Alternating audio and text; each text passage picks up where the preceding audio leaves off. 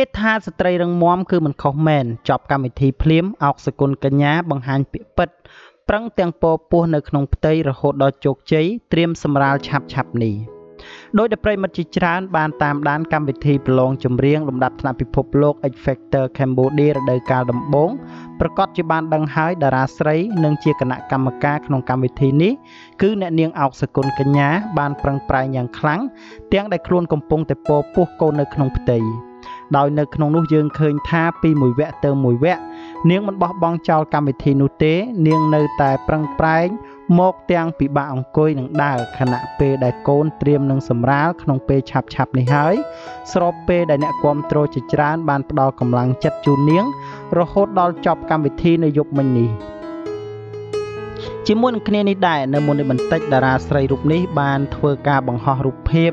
និងបង្ហាញអារម្មណ៍ពិតរបស់ខ្លួន ដែលខំប្រឹងយ៉ាងខ្លាំងទាំងដែលកូននៅក្នុងផ្ទៃចិត្តគ្រប់ខែ រហូតដល់ចប់កម្មវិធីដ៏ជោគជ័យរីឯកូនក្រុមរបស់ខ្លួនក៏ទទួលបានពានទៀតផងដោយនៅក្នុងនោះរូបនាងបានរៀបរាប់ថានៅទីបំផុតខ្ញុំអាចបញ្ចប់បេសកកម្មមួយនេះបានដោយរលូនអរគុណចំពោះក្រុមការងារទាំងមូលដែលបានសហការគ្នាយ៉ាងពេញទំហឹងអរគុណយ៉ាងខ្លាំងចំពោះការគ្រប់គ្រងរបស់ពុកម៉ែបងប្អូនទាំងអស់គ្នា ហើយពិតជាអរគុណដល់កូនប្រុសជាទីស្រឡាញ់ដែលរួមគ្នាជាមួយនឹងម៉ាមី បំពេញការងារដោយជោគជ័យបើទោះបីជាលំបាកបន្តិចមែនតែយើងស៊ូជាមួយគ្នា Love you so much can't wait to see you boy បាទនេះគឺជាការលើកឡើងចេញពីអារម្មណ៍ពិតរបស់តារាចម្រៀងកំពូលរបស់ហងមាសគឺអ្នកនាងអោកសគុណកញ្ញា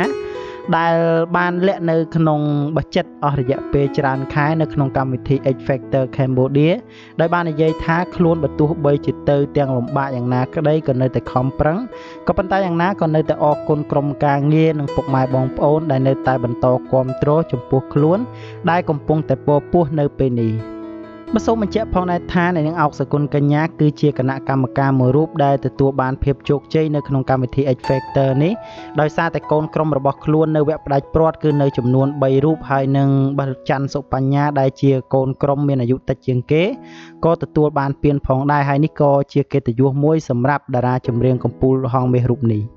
បាទដូច្នេះសម្រាប់ព័ត៌មានទី1ខ្ញុំបាទសូមបញ្ចប់ត្រឹមតែប៉ុណ្ណេះនិងនាំអារម្មណ៍បងប្អូនទៅកាន់ព័ត៌មានទី2ជាបន្ត បាទសូមបន្តមកកាន់ព័ត៌មានទី2តកតងទៅនឹងអត្ថបទក្រោមចំណងជើងថាពិតជាប្រពៃណាស់បានពៀនដល់ដៃភ្លាមច័ន្ទសបញ្ញាយកទៅប្រគេនព្រះសង្ឃដែលខំចិញ្ចឹមបីបាច់ខ្លួនតាំងតែពីតូចកាលពីយប់មិញនេះកម្មវិធីលំដាប់ថ្នាក់ពិភពលោក X Factor Cambodia រដូវកាលទី1បានរកឃើញម្ចាស់ពានរង្វាន់ប្រចាំរដូវកាលគឺបានទៅកាន់ប្អូនប្រុសច័ន្ទសុបញ្ញាជាក់ស្ដែងសម្រាប់នៅថ្ងៃនេះវិញគ្រាន់តែបានពៀមមកដល់ដៃភ្លាម ស្រាប់តែម្ចាស់ពានរង្វាន់រូបនេះបានយកទៅប្រគេនព្រះសង្ឃមួយអង្គព្រះនាមជឿនផានិតដែលជាអ្នកមានគុណទី2បានខិតខំចិញ្ចឹមបីបាច់ខ្លួនតាំងតែពីតូចរហូតមកទល់នឹងពេលនេះយ៉ាងណាមិញនៅក្នុងរូបថតមួយសន្លឹកនេះពិតជាធ្វើឲ្យមហាជនក៏ដូចជាអ្នកគាំទ្រស្ងប់ស្ងាយអំពីទឹកចិត្តដឹងគុណរបស់ប្អូនប្រុសច័ន្ទសុបញ្ញាយ៉ាងខ្លាំងព្រោះថាបើទោះបីជាពេលនេះខ្លួនទទួលបានភាពជោគជ័យคล้ายជាតារាចម្រៀងប្រចាំផលិតកម្មហងមាស ដែលមហាជនគ្រប់គ្នាទទួលស្គាល់ទូទាំងប្រទេសក៏ពិតមែនក៏ប៉ុន្តែប្អូនមិនភ្លេចសម្ដែងនៃការដឹងគុណយ៉ាងធំធេងចំពោះព្រះសង្ឃដែលធ្លាប់មានគុណមកលើខ្លួននោះទេសូមបញ្ជាក់ផងដែរថាច័ន្ទសបញ្ញាគឺជាកូនក្រុមរបស់អោកសគុណកញ្ញាហើយគេក៏ជាបេក្ខភាពដែលមានសមត្ថភាពមួយរូបដែលមានអាយុត្រឹមតែ14ឆ្នាំអាចលើកពានមួយនេះបាន ហើយมันមានការរិះគន់ច្រើនដូចទៅនឹងម្ចាស់ពានដតីផ្សេងទៀតនៅក្នុងកម្មវិធីលំដាប់ថ្នាក់ពិភពលោករបស់ហងមាសនោះទេក៏ប៉ុន្តែបែរជាមានការកោតសរសើរខ្លាំងទៅវិញដោយសារអត្តចរិតរបស់ប្អូនសុភាពរៀបសារចំណែកឯសមត្ថភាពគឺខ្ពស់ជាងបេក្ខភាពដតីផ្សេងទៀតបាទដូច្នេះសម្រាប់ព័ត៌មានទី2ខ្ញុំបាទសូមបញ្ចប់ត្រឹមតែប៉ុណ្ណេះនឹងនាំអារម្មណ៍បងប្អូនទៅកាន់ព័ត៌មានទី3ជាបន្ត បាទសូមស្វាគមន៍និងបន្តមកកាន់ព័ត៌មានទី3តកតងទៅនឹងកៅច័ន្ទនិមលយប់មិញលេងខ្លួនបញ្ចប់កម្មវិធី X Factor Cambodia កាន់តែស្រស់ស្អាតខ្លាំងនៅក្នុងឈុតមួយនេះជារៀងរាល់សប្តាហ៍នៅក្នុងកម្មវិធីប្រឡងចម្រៀងលំដាប់ថ្នាក់ពិភពលោក X Factor រដូវកាលដំបូងដែលមានអ្នកនាងកៅច័ន្ទនិមលជាពិធីករណីនៅក្នុងនោះ បានធ្វើឲ្យមហាជនជាច្រើនដែលទស្សនារាប់លានអ្នកមានការចាប់អារម្មណ៍ទៅលើការស្លៀកពាក់និងម៉ូដថ្មីថ្មីរបស់នាងតែម្ដង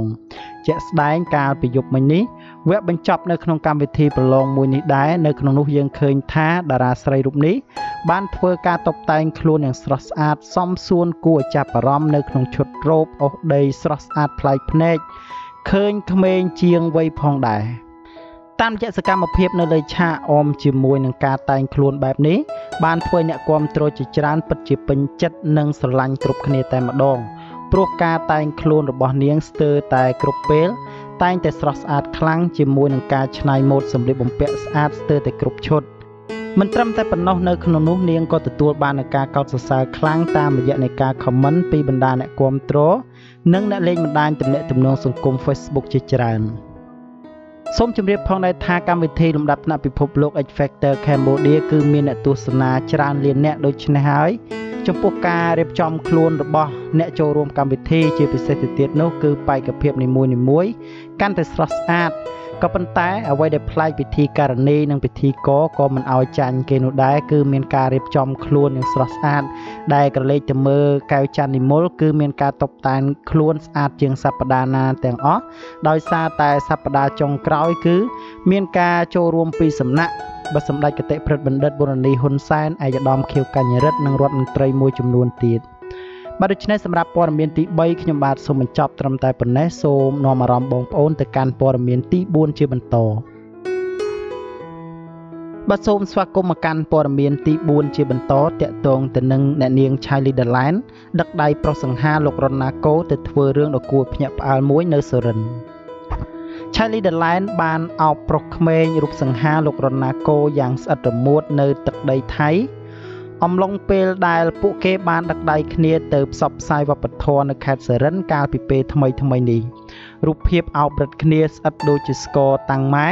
បានធ្វើឲ្យអ្នកលេងបណ្ដាញទំនាក់ទំនងសង្គមមួយចំនួនសរសើរ Charlie Land ថា នាងពូកែរកបានសង្សារថ្មីជាប្រុសក្មេងហើយរូបរាងសង្ហាថែមទៀតផងក៏ប៉ុន្តែអ្នកខ្លះរិះគន់ Dalan ថាគ្រាន់តែលែងប្តីមិនបានប្រមាណថ្ងៃផងស្រាប់តែពេលនេះបណ្ដាប្រុសក្មេងទៅដល់ថៃទៅហើយ។ យ៉ាងណា Charlie Delan មិនខឹងចំពោះអ្នកដែលរិះគន់នាងឡើយដោយរូបនាងនិយាយថាជាអ្នកសិល្បៈមនុស្សរបស់មហាជនយើងមិនអាចខាត់គេមិនឲ្យនិយាយពីយើងបាននោះទេ នាងថា ពេលនេះនាងចង់បញ្ចេញសេរីភាពផ្ទាល់ខ្លួននិងឈប់បិទសិទ្ធផ្ទាល់ខ្លួនទៀតហើយក៏ប៉ុន្តែនៅពេលសួររឿងទំនាក់ទំនងជាមួយនឹងប្រុសក្មេងរណាកូននោះនាងបែរជានិយាយថា នោះគ្រាន់តែជារូបភាពបែបសិល្បៈ មិនមានទំនាក់ទំនងពិសេសអ្វីទៅវិញបើទោះបីជាពួកគេអោបគ្នាប្រលេះមិនចេញក៏ដោយ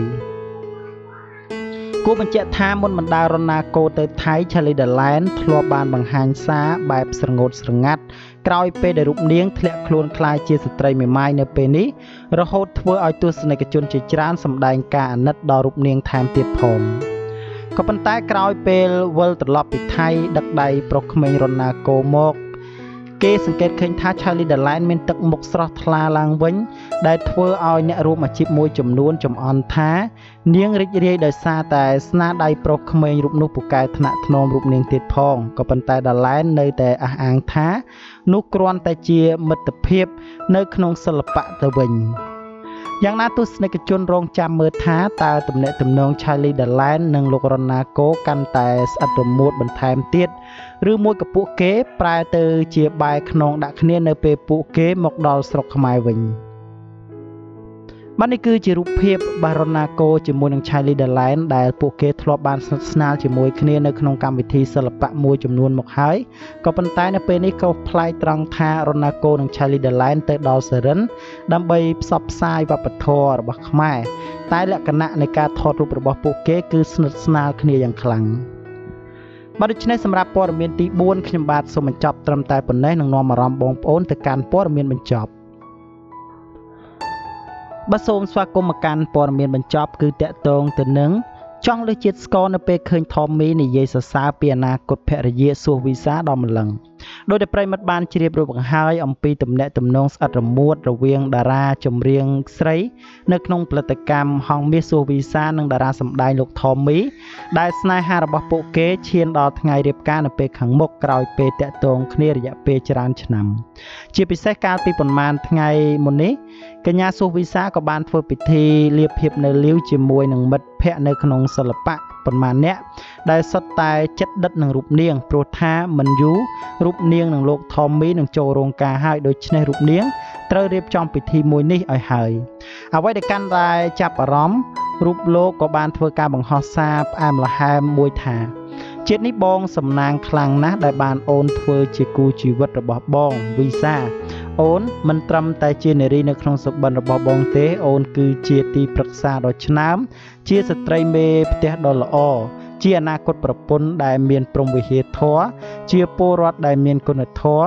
កតញ្ញូចំពោះគ្រួសារទាំងសងខាង បងសង្ឃឹមនឹងជឿជាក់យ៉ាងមុតមមថា